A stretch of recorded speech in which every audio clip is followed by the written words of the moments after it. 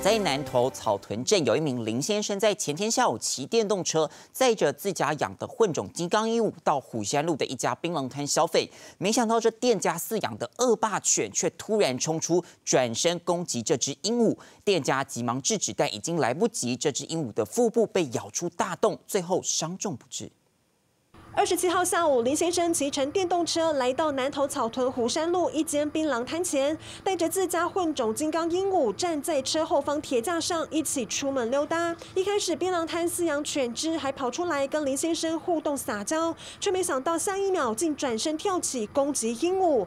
店家出手制止，已经来不及，鹦鹉腹部被咬，失血过多，最后伤重不治。这张就是昨天我要带它出来玩的时候洗澡的照片，结果变成。最后的遗照很亲亲近，他晚上看到我回家都会叫爸爸，啊，所以突然看到他死掉，我真的很不舍。如果今天是攻击到人，不是这样啊。影片曝光掀起热议，网友建议犬只应该要绑上细绳，也有网友忧心，如果冲出来咬的是店家前方路过民众，后果恐怕不堪设想。而实地来到槟榔摊攻击鹦鹉的是这只三岁恶霸犬嘎逼，业者表示他平常很乖巧，真的不知道为什么会发生这种事。一岁多混种金刚鹦鹉三代，那时候买的价格就需要多少？四十几万。老板娘说他要赔给我也是四十几。一开始冲出去。